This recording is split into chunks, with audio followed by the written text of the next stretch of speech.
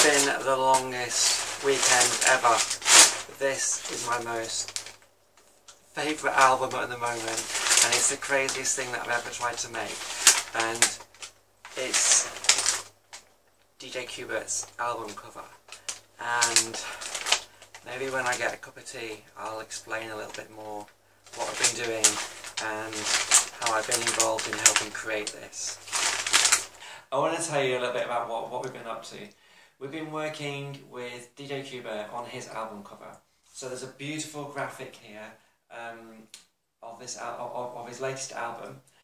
But inside, and the bit that we've been working on, is linking up these turntables to an app on my phone, which is djay by Algoriddim. Just love it. and you can scratch, mix, crossfade.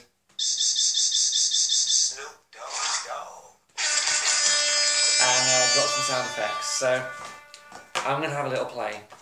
I'm just going to plug it into my speaker.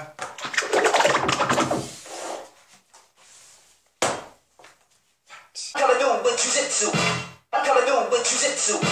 I'm coming on with jujitsu. carried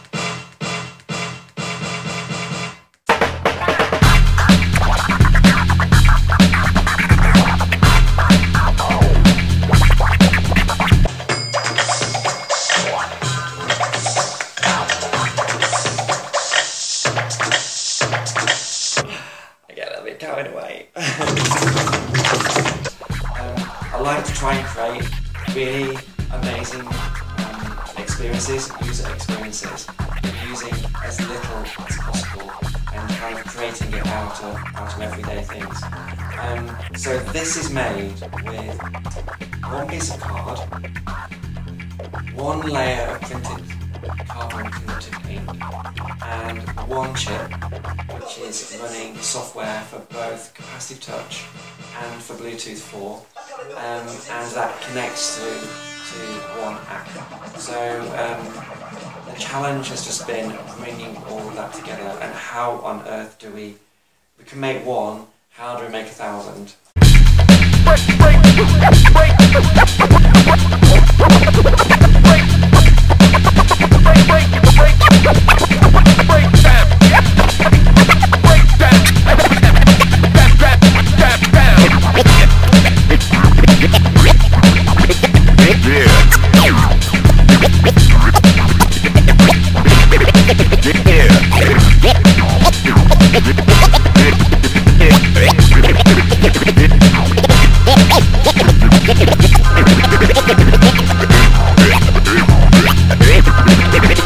It's